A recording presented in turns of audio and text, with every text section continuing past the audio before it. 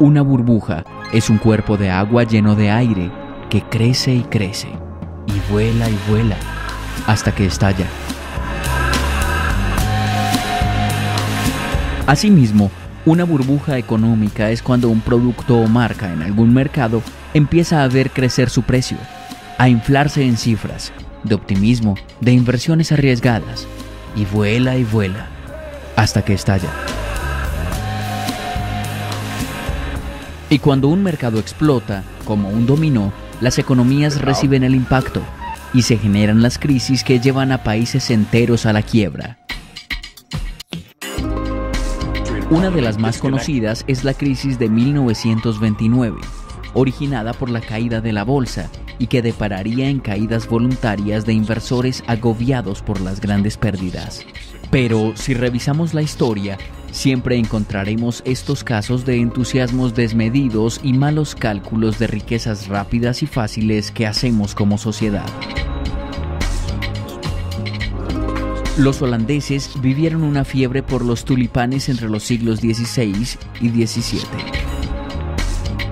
Francia sufrió la especulación mercantil en el siglo XVIII los mismos británicos sufrieron económicamente en la industria ferroviaria en el siglo XIX.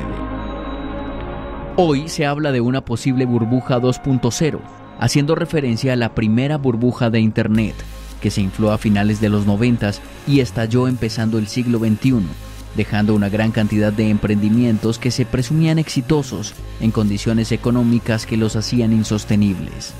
Esa burbuja 2.0 parece volver a asomar con Facebook y su salida a la bolsa.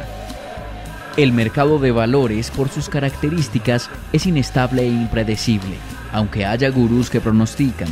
El caso de Facebook, que tanta euforia generó antes de empezar a vender sus acciones, es una muestra más.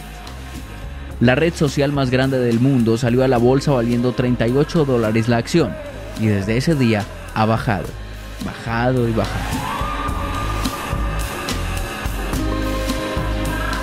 Unos dicen que Facebook no tiene más que usuarios que en unos 7 años ya no estarán. Y que está inflada en valor e importancia por algo tan etéreo como un usuario de Internet y sus ganas de compartir su vida.